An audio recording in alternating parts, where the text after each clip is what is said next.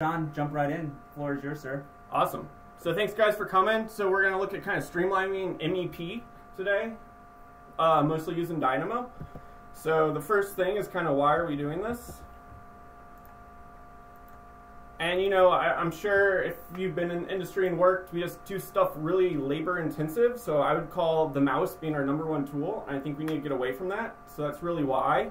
Hopefully we get away from the mundaneous tasks. Hopefully we get more time for actually designing and problem solving and less time clicking and dragging. So that's really what it's all about and why we're doing it. So some of the learning objectives, we're going to build some parametric families or just look how we can use those to help us. Um, we're going to look to pulling linked elements. So again, this is kind of an HVAC workflow, but this would really work if you're electrical, pulling data from ME, or from mechanical, pulling data from architecture, structural. So really any other link models to learn how to pull some stuff in. Um, we're going to really try to get the most out of our MEP systems. I think they're underutilized just because it is kind of tedious and time consuming to build them right. So you, but if you build them right, you get a lot out of them. And then we're even going to touch a little bit on some machine learning aspects and how we can apply those to um, some workflows. So it's pretty cool. I like it. So kind of the big picture here is we really want to take all this data and again back rather than clicking and dragging all the time, we really want to use Dynamo, build algorithms to really push all this through not only build our model, but then really have really controlled data. Um, I think with automation, the data is a little bit more guaranteed to be accurate. So then you can harness that for even more and look at everything. So that's kind of the big picture. Taking a lot of data, analyzing it, building algorithms. So before we start, I just want to give this idea out there, and it's the whole idea of a relational database. Have you ever heard of one? I've heard of it, but tell me what. Me what and Mark what, got into conversation a little bit. Like what is? I've heard of a database. What is a relational da- database? So the is whole like idea- is it like Tinder database? like what is what is this relational? it somewhat. All right. Um, so the whole idea is just to build these like primary and uh, foreign keys, Okay. and so you have these tables. If you look at like spaces, we will use the space number to go to all the diffusers. So now we know what diffuser that's in. Really? Yeah. That's incredible. So it's kind of what I think Revit does in the back end. We're just gonna do it our own. So we are gonna put kind of all these ones with the black keys in front of them. Those are parameters that we put into our families, and we are going to utilize that to really let data flow. So Is in the it- background, that's really what's going on. So are your keys? Are those your inputs? Is that user input from the user, or what is the key? So we've we've managed to. It's really a space holder, and we've managed to automate all of those inputs. Okay. So it actually isn't. And right, so if it was manual, it'd be really time consuming. It'd be like, why are we entering all this data? No, this is two more columns of right. These get up to the hundreds, thousands. Speaking of which, can we pause for just a second? You and I got pizza and beer last night. That's true. Yeah, and so we were talking over beers last night about our past and our experience working in different industries and just the sheer amount of pushing of paper and data entry and how processes are broken in our industry. Um, can you talk a little bit about that? Like, just as like your own observation of the industry of where you're like in the MEP space. Yeah. Like, is it as ba- bad in the MEP space as it is in the architecture space, or what? I think it's pretty bad in the AC industry in all. In and the only thing I really have to compare that to, is we talked about this last night, is I had the I took a year co-op working manufacturing, and they streamlined everything. It was one piece of data was entered, and it went everywhere else that it needed to go. And so I was really inspired by that. And then when I got into this industry, I really took those principles, and then found out it's kind of called Lean Six Sigma principles. So I took all that, and that's really what opened up my eyes to be like, no, this is not. I don't think the correct way to be doing it. So. Right, gotcha. Interesting. Okay, cool. Yeah.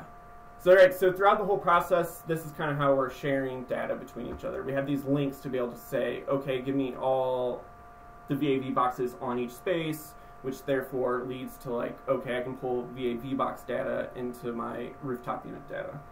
So it's a way just, and then with Dynamo, right, you're always pulling, filtering. So give me all the VAV boxes that are on this rooftop unit. So what is Dynamo for those that have Ooh. like? I wrote a whole article on that. Did Hard you? question. All right, Dynamo to me, uh, I mean, I don't even know how to answer that quickly right now. Dynamo for what we're doing r- right now is kind of a way to, I'd almost call it like a database management system. Okay. I think is the term that's thrown out there with databases and everything. it's So like a pro. It's a programming language, right? Like a Right, visual yeah. way to, to program, right? Yeah, and of course it works really well with Revit. Mm. Um, we also get into a little bit. It does a lot, some stuff with geometry. We're going to use that in the MEP cool stuff like placing stuff. So Which you're going to show us today. which we're going to show today. All right, cool. So it's kind of a relational database. Put these type of things in your families to be able to control the data, right? If not, you need a system built, and it's just kind of working backwards. I think at that point. So now we're building those systems kind of in a different order, Yeah. and I think that's more powerful, and that's why we have to do this. So the next idea is just kind of parametric modeling, right? You can get you can do it all through Dynamo, but it'd be really hard. Why not just add parametrics into your families and just get it out of the way, right? Yep. So then if I pump in, you know, three, 550 CFM, then I'm going to have a one foot neck, and that'll be, let us be able to adapt really quickly. So you have these parametric diffusers right now that you've built. Yeah, so like when I first started in the industry, we had this kind of table that we followed, and that was in Excel, and it was again, what, what's my right? What's my CFM? Okay, there, and of course maybe memorize it eventually. But now what we can do is just put this table directly into Revit, and if it changes from 100 to 200, the next size is updates. That's great. So that's some of it too. All right, so now let's get into the data part. So I did my loads here. So you guys know HVAC workflow. We're kind of so everything comes from two sources really, and I think it's codes. We kind of that conversation last night, right? Yep. So if you build something in California, it's gonna be different than Florida. So codes is a big driver, and we'll get into that a little bit, and then also loads. Yeah. Which- Which? Oh, go ahead. Well, loads come from the architecture model. hmm So I was able to do loads really quickly through Insight. So I'm not someone, you know, this is another thing you could have a whole hour presentation on, Yeah. but we're going to go through it real quick. But it's a pretty accurate way if you put the input some of the data correctly to get your loads. It's very visual. So if you have a client, architects, you could all sit around the table, see the changes, hmm why we suggest a certain system or why we suggest, you know, higher insulation and stuff like that. Um, so it's really powerful.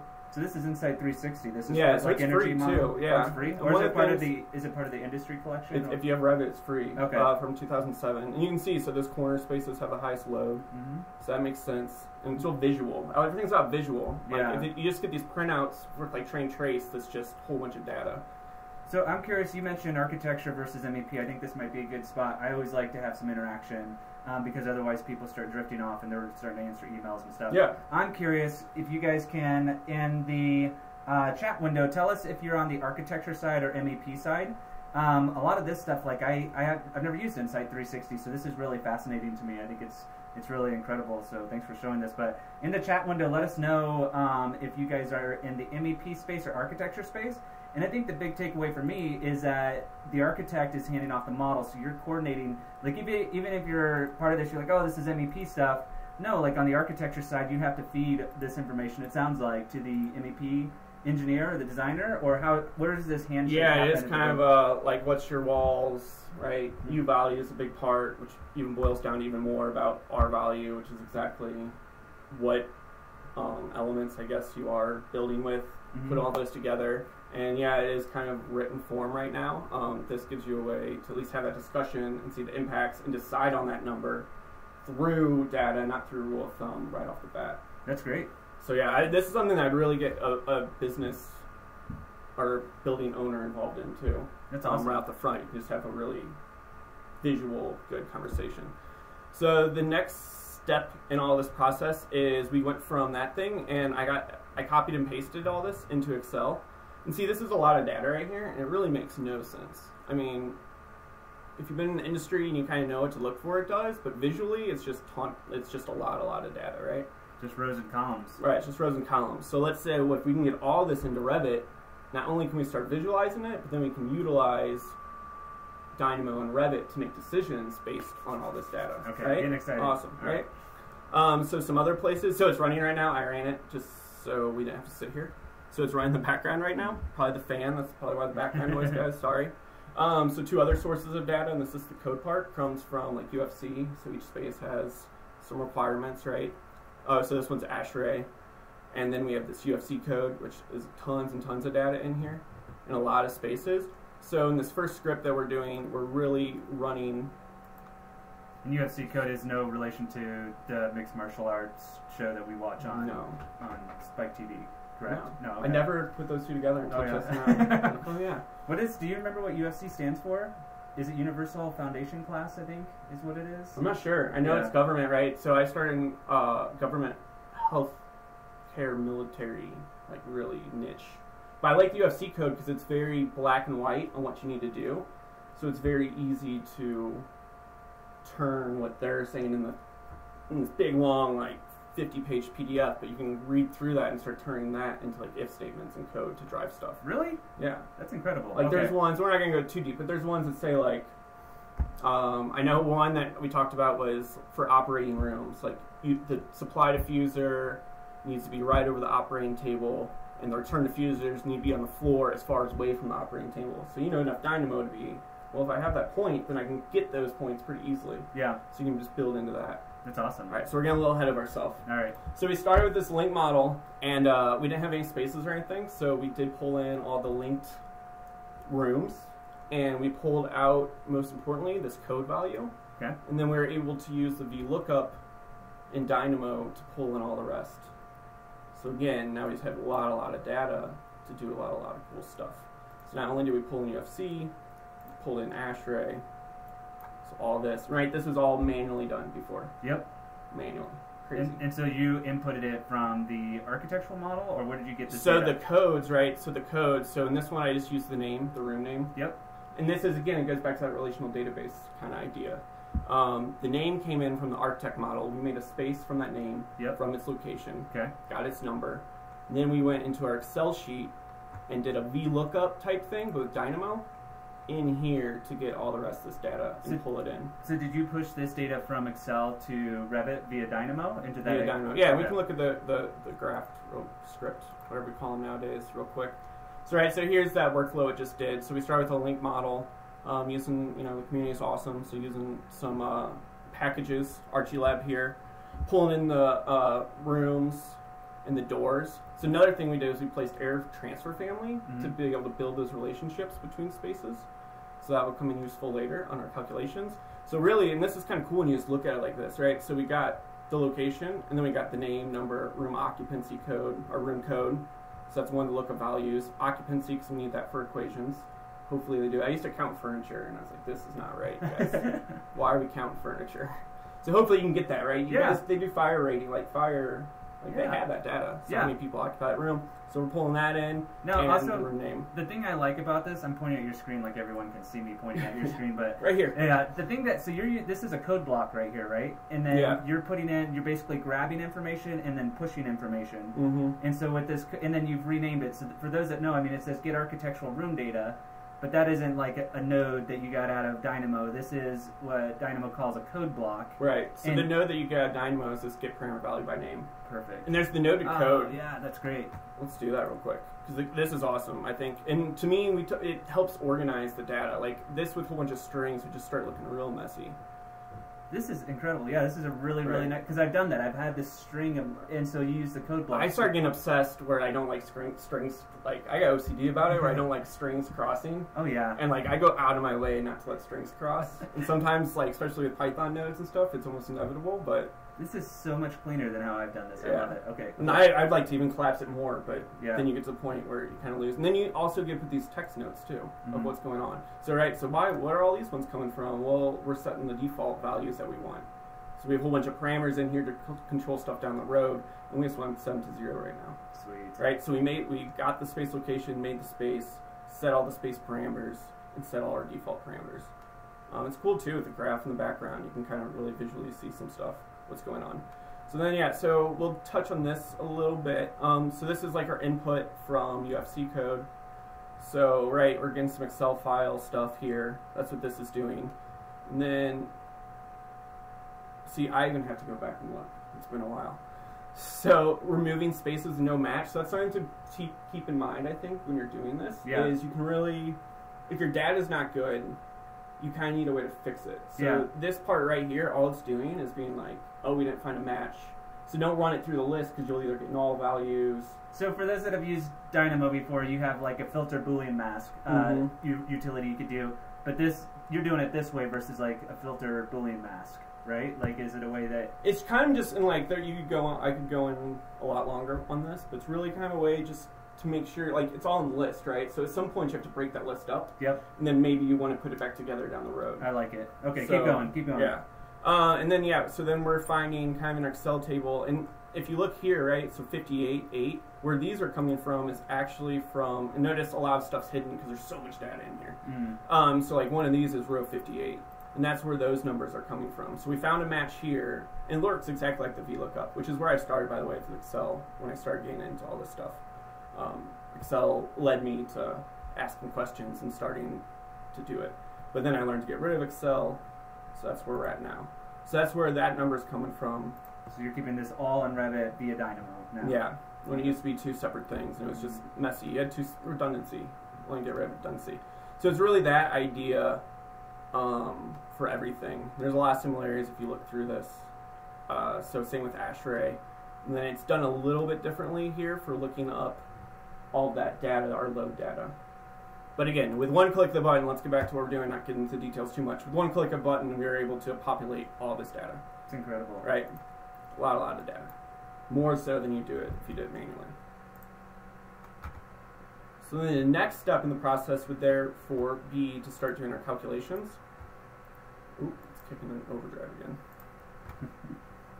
I feel like your computer's gonna start hovering like in a minute, just like almost like you know like a, a drone, just like the fan coil is just gonna push your computer off of the table. Well, it's this way, so it's going to come at me. So that's the first script. So now we can do calculations, and this script's really cool because it can be used all throughout. Um, this one doesn't take that long.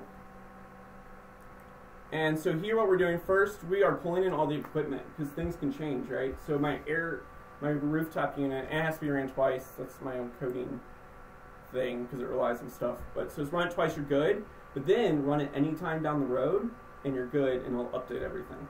Seriously? So we're, we're going to revisit this okay. graph later. Sweet. Well, let's see what we just did here.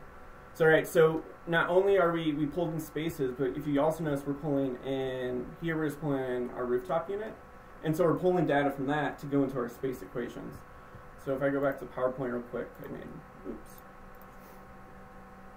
So that's kind of what this one's about here. So in these calculations, right, we're able to, this looks a lot cleaner than it would in Excel.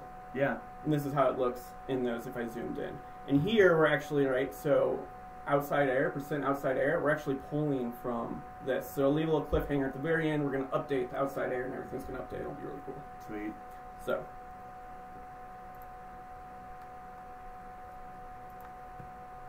Uh, so we go to calculations now. Where are they? Some schedules. So I like to make a whole bunch of schedules too, just to see kind of what's going on, It's a little bit different. And then it's even kind of a work through to go through. So these are like working schedules. Yeah, working schedules. Um, this one might eventually become something that goes on a sheet. Uh, it's required for all HVAC, kind of, right? hmm Minimum air, maximum air. But all this, right, was done. Here, we can even go back. So I think this is a really good point. Like here for working schedules, for those that don't know, um, some people are like, cool, like I just have to schedule this stuff, or like monkey up the schedule that I'm putting on a sheet or printing, whatever. You can actually create a working schedule as your own kind of quality assurance, quality control schedule. That way, you're not messing up the, the one that's going to be Right, the for- production. Yeah, yeah, yeah. exactly. Yeah, I like that. Like I said, it can all, this was all pre-baked, right? So all these are pre in here, good to mm-hmm. go. And look, I literally like numbered them out too, right? Yeah. So another interesting thing here is too is we have this transfer in parameter.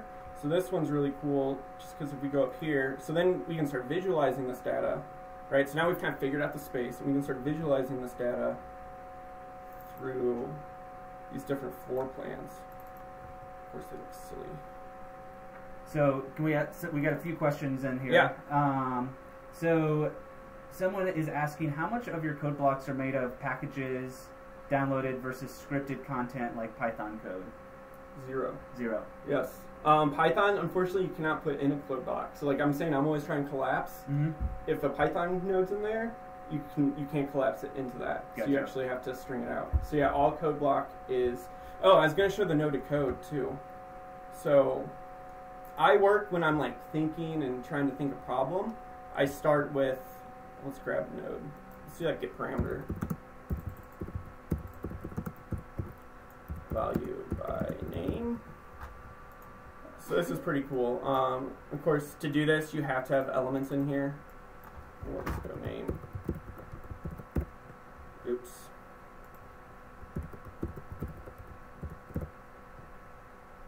That doesn't matter. So right, so I have this. If I click on these and do a left click, usually node to code. Maybe I lied. I'm doing something silly because it's not showing up. Sometimes it's like really picky based on if you pick on like the header versus like somewhere else, right? Yeah, usually no decode. code. Hmm. Not showing up. Might have to revisit. Yep. So I'll make a post on it for you guys. that'll work. Node to code. Yep. Best thing ever. And it collapses down to this, then with a little bit of changing, you can kind of change stuff and make it look a lot prettier. So that lets you build, right? Because we all like Dynamo because it's easy. You don't have to have the programming language. I'm not a coder.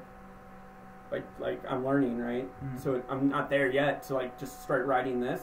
So you're able to build these things and collapse them back down, and then you can start moving stuff around, which is really cool. So one of the only inputs into this whole space calculations is spaces. So like that's kind of cool. It is. Back to you earlier, you were showing Insight. Um, Devin did have a question about that. He wanted to know if you've ever compared Insight load results to more robust load calculation software like Trane TRACE or IESVE. I did. I did a controlled comparison, and even had some of the people on. I reached out to the Autodesk team over there, Yeah. and they helped me out a little bit. And with a controlled comparison, it was 98% correct. So where does that 2%, which really doesn't matter, I don't think with loads. If you look at loads, it's Percentage. it's, it's, it's not a perfect science, right? It's once you get into like thermodynamics, it's pretty intense of like getting the exact values, right? Where I think that 2% even came from was the measurements. Mm. So like, so we're doing manual measurements going from wall to wall. Well, you can see by Revit's nature that you might have a little different Sure. values from there. So, yeah, I think it's uh, pretty accurate. Unfortunately, it's not 100% trusted. But again, for a preliminary workflow to get a good idea, I, I think it's valuable. And then, of course, I hope they improve it, and hopefully someday it's satisfied. It's good. Um, the other thing that we were talking about too is so importing the data in could also work with like Trane TRACE, right? You can export from Excel, so you could easily do the same kind of setup with that. That's awesome. So the analogy I always like to use is Dynamo's kind of like a broker, right? Like talking to all these different. Mm-hmm. Like- yeah, exactly. So that's a way that you could execute that. That's awesome. Yeah. So where are we at? So you can start to visualize. Of course, something's happening here, but so what's going on right here is we placed all these air transfers. So this space usually would show up, but this space should be negative pressured because it's an exam room. And so that's where we're able to calculate kind of this transfer right here. How are you visualizing that data right now? Is that a Revit filter or is that some MEP out of the box? I think because Dynamo's on, it's messing it up. It should be beautiful and colored. Okay. It's not. But notice how this is darker, Uh huh. And this is a different color, and this is a different color. So this should be green. This should be blue. Gotcha. But I think Dynamo being on is. Oh, I know what it is. What is it? Preview. I changed my settings. In here somewhere, there's a Revit preview setting. And I bet you that's what's on. Because this. Show run preview? Is that it? There's one that's like show it in Revit. Does anybody know where it's at? Find it. Yeah, Maybe because it view. beautiful. View? View. Here, you know what? We don't have to do this because I, luckily, being kind of smart, Yeah. was ready to have some stuff go wrong, right? Yep. Karma. Of course. Whatever. These are always fun when we do these live things. Right. So here, let's jump to this one. So let's keep going so we Yeah. we get through it all. Yep. So um, right. So we did some calculations. So here's one that was cool. Simple ones. Pull stuff from data. So another problem that happens is like UFC code has these A's, and Dynamo doesn't handle, or Revit does not handle A's well. What do you mean when you say Because it's very uh so all right, so let's go to Like- pluses and plus. So Yeah. it has a symbol in the UFC table. Like see, so we have these Y's right here, we have these pluses right here, we have these O's right here, we have Yep. these exhausts right here. Yep. So they mean something, right? But for Revit, you can't necessarily write an if statement like that Okay. without building more parameters. Maybe could I get work you. around. So what I did here was make an if statement. So if if, then we're going to be twenty percent less air than the return than the supply air, right? And then there's some rounding in here, so it looks a bit more complicated. But it's letting us handle that text a little bit better than what you could do in Revit. That's good. And if you did this in Excel, it'd be a really, really long, hard uh, equation to see. Yeah. People are telling us too that preview is under view. I was wondering if we went into Dynamo if it's under view. Let's try it. Okay. Why not? Yeah. Under view tab. View 3D preview. Revit background preview. Let's see. Oh, beautiful. Yes. Thank you, Devin and William. Appreciate that. Yes, see, I knew I was in there. I was messing with those those things the other day. Yeah, it's good. And so now it starts making sense, right? So negative 40 for these pressurized rooms, negative 80 for this bathroom. Um, these are positives, positive. And then we're able to build those relationships, push it through. So that's the calculations part. Like I said, we'll revisit that. So right, again, one step, we just do all that.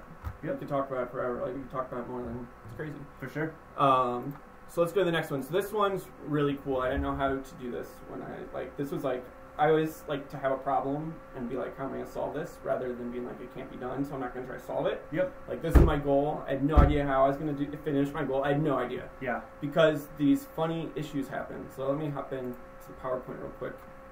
And just to be clear, like you said, like last night when we were talking, like you've run out of Google. Like Yeah, you've done all this. Yeah. I mean, there's parts, right? there's So parts of it, but Googling, so, so Googling, I found an unsupervised machine learning algorithm. So this is a little bit of the unsupervised machine learning we're going to tackle. And so this is my sketch from when I was trying to like think through this problem, and I I just like sharing it. So this just shows you kind of the process.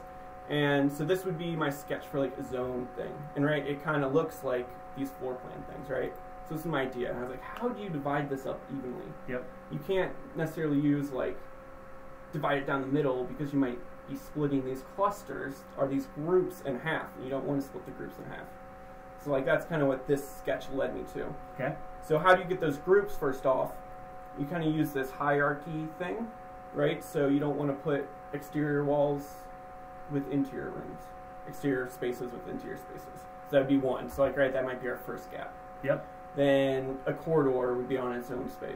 Or not corridor, like a conference room would be on its own zone, thermostat, right? Uh, you don't want so many. Um, if they're different set points, then that would be your next breakdown. And you're left with kind of using that data that we pulled in, right? You're Yep. left with this is literally the output from Dynamo That's awesome. down here, and you're left with these groups that you don't know necessarily how to divide. Mm-hmm. So again, finding Google, finding a little piece of it, I learned this k-means algorithm. And so I'll try to talk through it. I don't expect you guys to understand. I have a visual, but the whole idea is that we're trying to find. You kind of give it how many clusters you want, and you have to get start locations, and then you have a whole bunch of points. Well, our points in this scenario is all the different spaces that we've already grouped. Um, the number of clusters would be how many exhaust fans you have necessarily, or like how many VAV boxes you want. And there's other ways to get to that number. But what's really cool about this is if you change either of those inputs, then the outcome of the algorithm would change. So you can imagine try doing something in Project Fractal where I'm testing five exhaust fans, three exhaust fans, a range of options, and push into this algorithm, and then gain a range of different zoning options. That's awesome. So that's kind of where I'm headed. I like it. That's where we're going. So here's kind of the visual. If you guys probably didn't get that, so here's a visual. So this one we're just trying to group kind of VAVs, are these diffusers together, and our K points are these VAV boxes. So you can see that this thing is iterating through until it finds these three clusters. So I just thought, just watching this run to me is really cool, and like knowing the math behind it. This is great. Yeah. So then let's do all this. So then there's one here. Actually, I'm gonna hop in here real quick and run it. So here it is. So here's where we're kind of doing that, right? That first part, that dividing the spaces up into certain groups. And then this is my looping of k-means. It could be done better. I have in Python, but the idea is if it's in this, it can go to fractal. So that's what all this, and it's just a loop, right? Loop, loop, loop. Um, and then here, let me run it. For those that don't know, Project Fractal is an optioneering software in the Autodesk Labs. It's a way to kick up a bunch of options in, with Dynamo up to the cloud. It iterates on those options, and then you can, what they say, optioneer um, those options uh, based on whatever whatever you want to optimize, I guess. So, Yeah. yeah. So there we go. So we just zoned the building, right? So we started with no spaces. We did the calculations. Well, first we pulled in data. We did the calculations. Now we just zoned the building.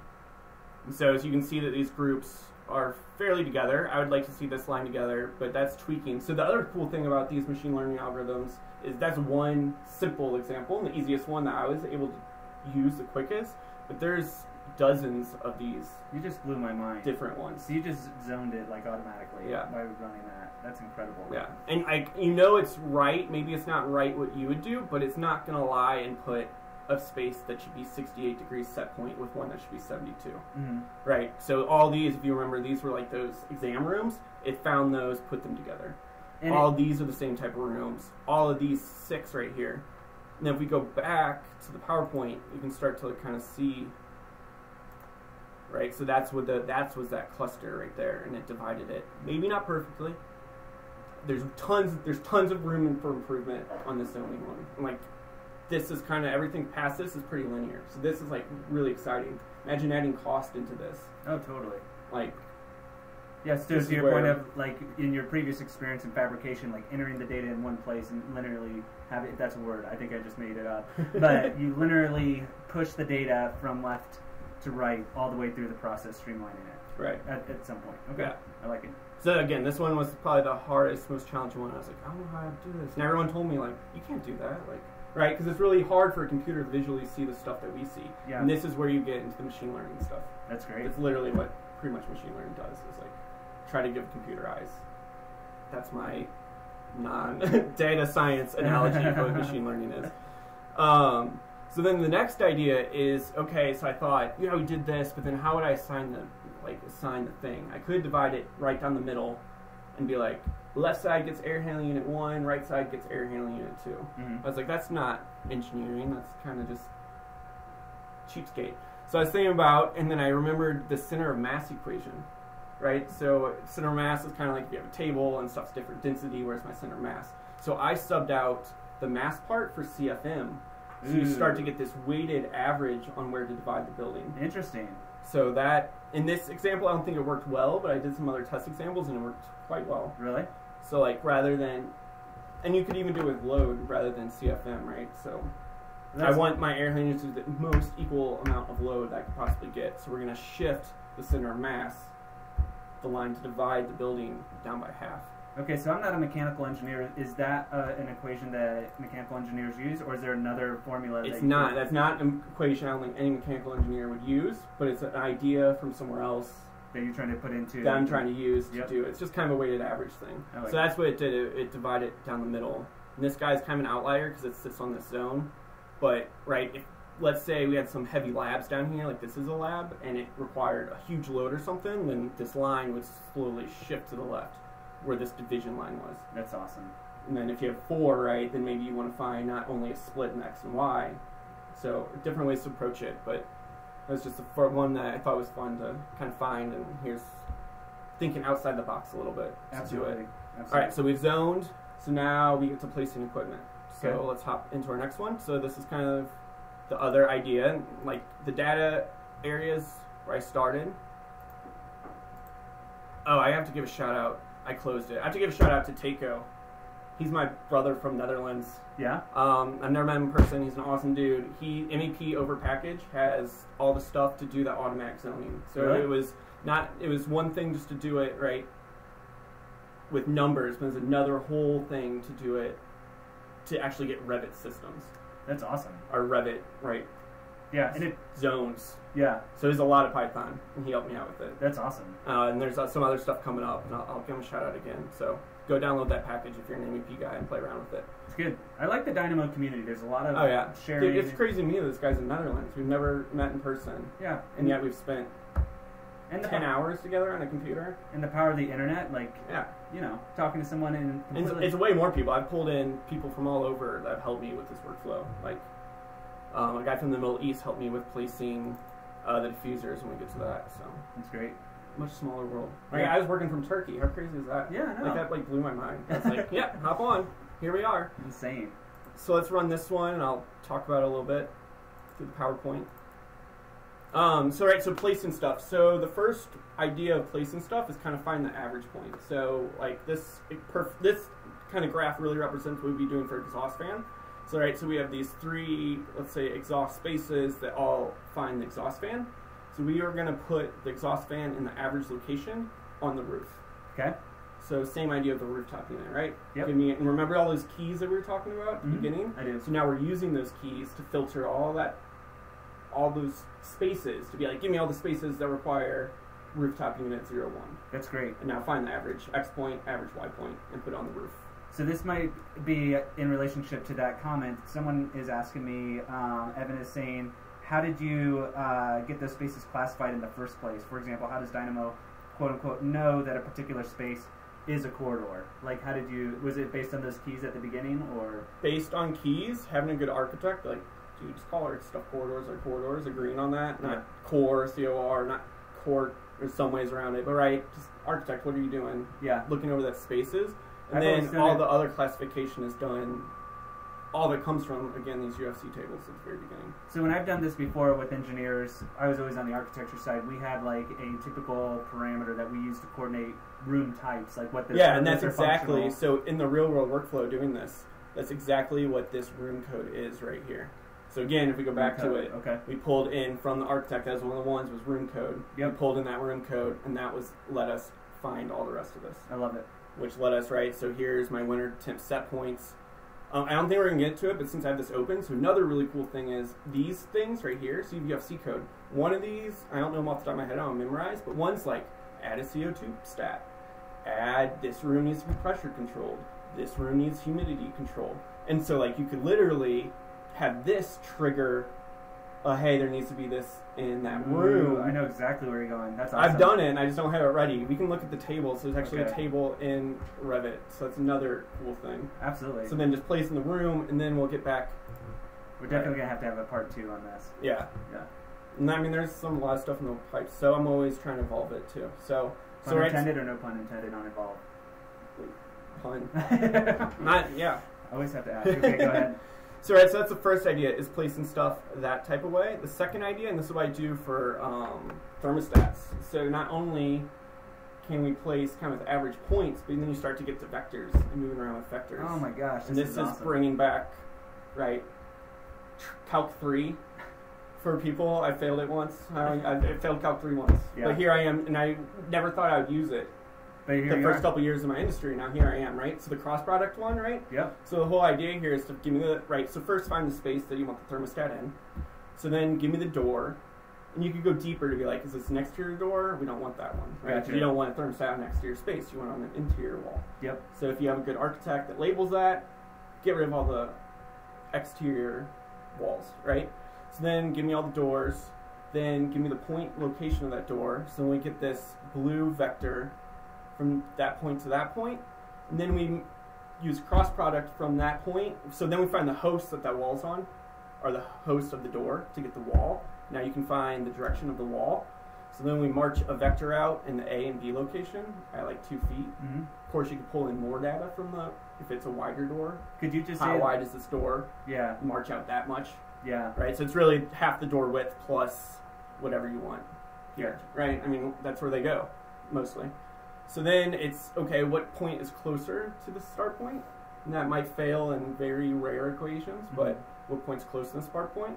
Okay, give me that point, and now add the blue vector and the selected pink vector together to give you the green vector, and that gives you a line. That line will intersect that wall.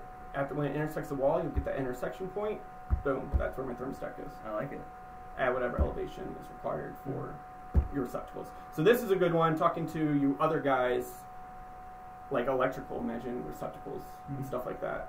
Like, is there a refrigerator even? So now let's talk about like mining out data. We have a really good architect. He's going to say there's a refrigerator. We found the refrigerator center point. Shoot a vector to the wall. So there's all kinds Put of applications. Yeah. right. Yeah. This is incredible. Um, and the other thing with those other like equipment stuff, that's how I'd go about building rules. So Mhm. another good one that like those curtain walls, right? So I need a air curtain wall. Give me the door, march out a vector just a little bit from that, It's incredible. place it. So do you have an example of this? Um, so I broke the thermostats like right before. Okay. Right before the presentation. Yeah. Nice. Oh, I ran diffusers on accident first. Okay, so let's jump to diffusers, then I'll go back and show you the other one. So diffusers are pretty cool because so not every space requires like the same rules when work for every space. So again, you have a classification of spaces. So one rule that I used, and the rules could go on and on. Like have UFC, for example, right? And just as you build it up, just each each time you do a job, like improve your rule set a little bit. and just keep it going. So I use four rules for this example. First one is small spaces. So I think it's like give me spaces under 200 square feet. I probably know there's only going to need to be a supply and return diffuser there. Give me the door point. Well, first I made like an X. Give me the points. Test them against the door. Give me the furthest one away from the door. Give me the closest one away from the door. Put my supply in return. Sweet. Exhaust. Give me all the toilets. I got written up by UFC DrChecks comments once because this thing was shifted like that. Really? Right. Yeah, really. Big deal. so, right, so we're going to find all the toilets in space, find the average, put it there. Um, if there's two rows, right, a little bit more complicated, but again, you can work through it. Um, corridors was a real challenge, and I had no idea how to do it. We tried to do, I did a whole bunch. Bill helped me, Con- Connolly, right? I don't know.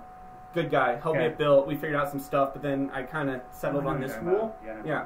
So this one just tests all the doors against each other and finds the doors that are the furthest apart and puts my supply and return in that location. then we have this rule to kind of go cover all the other spaces, which is kind of based on building grids. So to do grids, have you ever messed with grids on surfaces? In uh, Dynamo or in Mhm. Revit or Anywhere, I guess. yeah, I mean a little bit with uh, Dynamo and trying to get the grid locations and placing them as model lines for uh, Navisworks. Yeah, so that's a yeah. But other than that, just normal like Revit production. Um, but that was my only Dynamo example with grids. Yeah, so we go more into detail. It's really grabbing the ceilings, right? So you get the ceilings, you get a surface, you have a surface, you do UV lines on it, Yep. boom. What's even cool is the gap could change based on the velocity if you want to go even deeper. Yep. So So you're taking into account. That's what I was thinking when you were showing the previous examples. Is yeah, you're putting these in here, optimizing them, but you still have to coordinate with ceiling grids. So you're taking that into account when you're. the, you're- this workflow does not have the ceiling grids. I'm working on that right now. Okay, I'm, sweet. I'm, I'm almost there. Sweet. Except it involves CAD, unfortunately. Oh man. I know. Yeah. It's so silly. We'll have to talk about that. I went to a hackathon just to try to answer that question. Really? They're like, no, we want to do something different. So let's go back in here. So here's what's kind of cool too is you start to see all this stuff. So here's those crosses I was talking about with all those small spaces.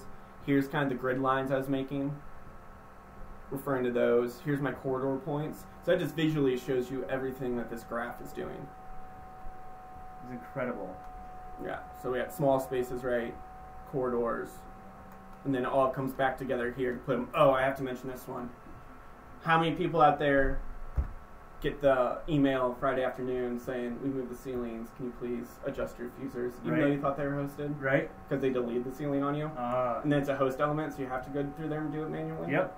So no hosting on these. Uh, this was a big argument I've had forever. I think I'm winning now.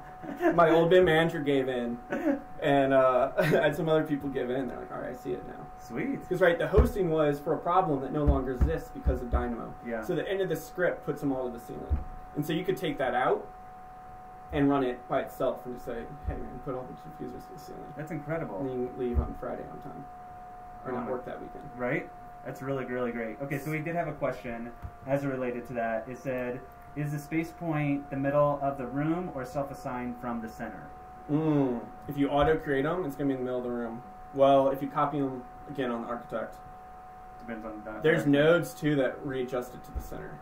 Okay. Um, by the way, I built this architecture model, hence why it's not perfect. But I purposely did stuff to throw things like that off That's to test it. So that's why this space is really weird, Got it. right? You might have the center. Uh, you can't have the center point outside of it, can you?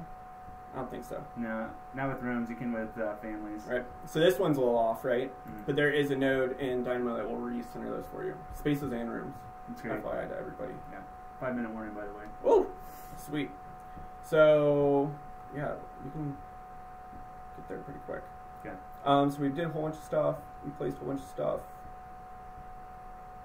Let's just go to 3D view. Oh, we didn't run the. Here. So you gotta trust me on the thing. What I'm gonna do is I'm gonna go back to. Time flies when you're having fun, man. Right?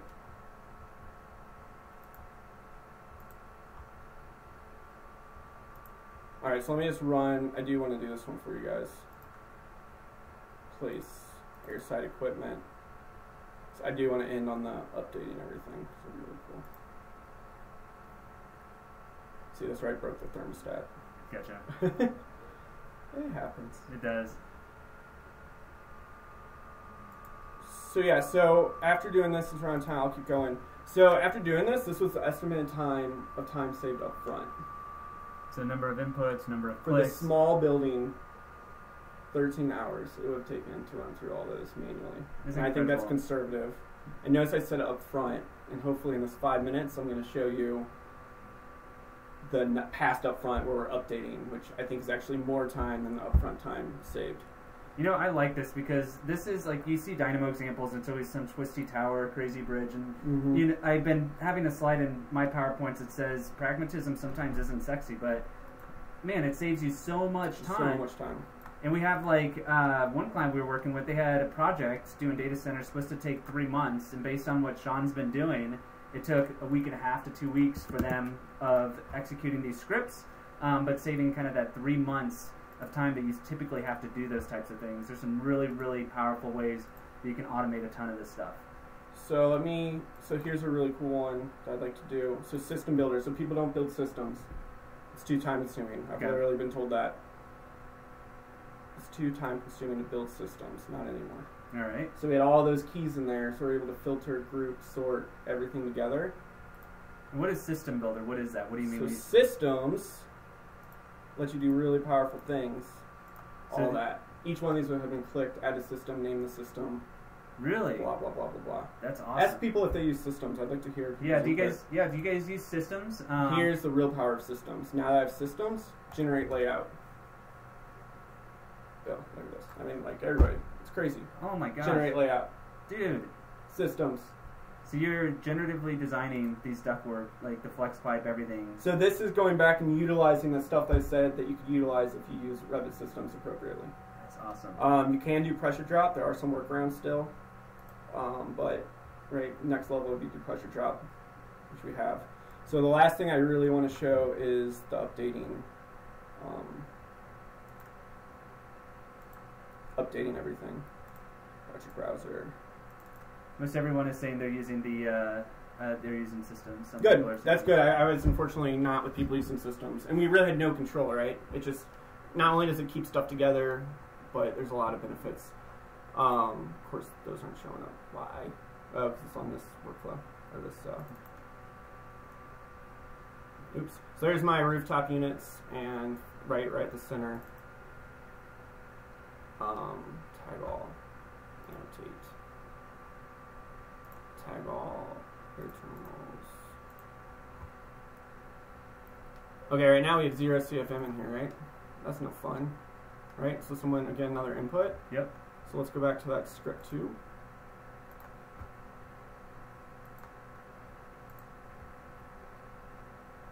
Yeah, it's 15 minutes for build extra.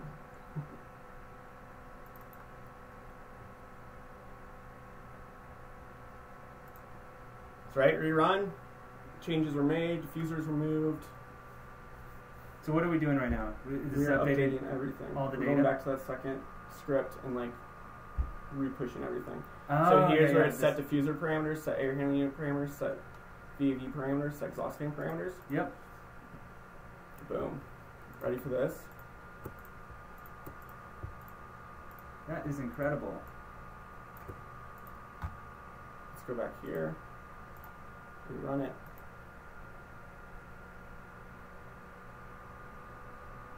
My mind is getting blown right now. TG. Boom. See these ones are 30.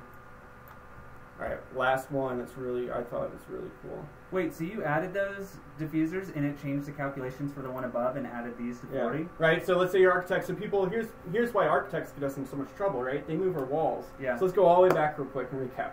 They move our walls. That changed the equations for the volume, which changes the airflow, which changes everything down the pipeline. Yeah. So this is able to update all that. So That you guys change the roles on us. It's not this big ordeal. It's okay. Rerun the algorithm. This We're is good. incredible. Absolutely Um, incredible. So if we go schedules here, and remember this percent outside air. Yeah. Say we're trying to be efficient, so we're going to go 2.5 outside air. Yeah. right? So that was an input in my air handling unit. And we rerun this. And everything's going to be accurate. All your stuff's going to add up. So we get in a situation where we had these tables in Excel, and then someone manually entered in Revit, and then blah blah blah. And by the time we got done, stuff just didn't line up. Right? There's Yeah. always discrepancies. Yeah, yeah. Like, where is that? And then we're spending hours um, trying to fix it. Oh, I guess. Hmm. I think it did it. Maybe not. have to look. But as it goes, as you're going through that, um, I want to mention really quick. Um, this is part of the Lab Live we do. We give out free content to you guys, try to um, inform people, and, and if you didn't know about some of these processes or what you could do at Dynamo, it's kind of like one of the free things that we try to do at EvolveLAB, just to kind of give back to the community. Um, as it relates to that, I'd like to just say if there's an opportunity, you guys have a project that you guys want um, some help on, you want to try to automate some of these processes, you want Sean to come in and do a training, teach you guys how to use some of these. Um, we're in the process of building up a lot of these scripts um, for people to use. Mm-hmm. Um, we do have some of these that we're giving away for free. So people are asking already. Uh, as we said, they people are going to be asking. Um, so we have some of these we're giving away for free, but a lot of this is going to be if you have a project or some assistance that you guys need. Um, Sean, Sean would be able to to help you guys out with that. Yeah. Um, there's a lot of tailoring too to the thing. So there's big picture, and then there's setting up, right? Yeah. The parameters to do this. We added a lot of parameters in too. Yeah. So as it relates to that, um, we have. Uh, yeah. Do you want to? So real quick, Sean and I are going to be uh, at AU. Um, I'll be doing a storytime fairy tale uh, case study on designing theme parks with them. Uh, Sean's going to be. Do, well, you, you explain what you're doing.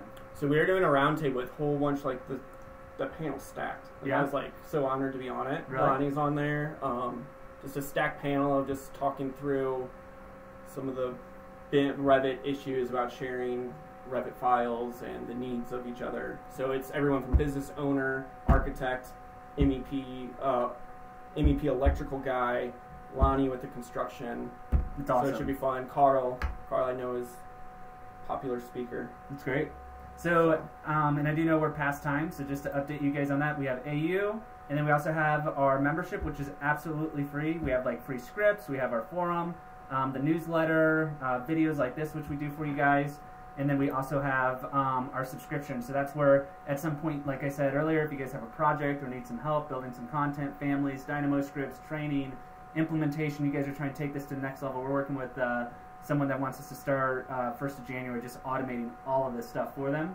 And then we have other ones that we've already. You're getting excited about that one. Yeah, I'm excited. They've, they've set the bar high, but. Yeah, I'm excited to uh, use our team here and. Yeah, solve some more problems. it's incredible. Doug Otterani's on there. It's in the works. Definitely, yeah. It's interesting. This collective neural network of having Sean's expertise and others on, on the team is absolutely incredible. Um, so, with that, we want to thank you guys for coming to this session. Um, if you guys have any questions, thoughts, comments, uh, feel free to hit us up on the website, evolvebim.com. We have uh, the forum up there. We have contact us. Just reach out to us via there. And you guys enjoy the rest of your day. We'll be in touch. See ya. Thank you. Thanks.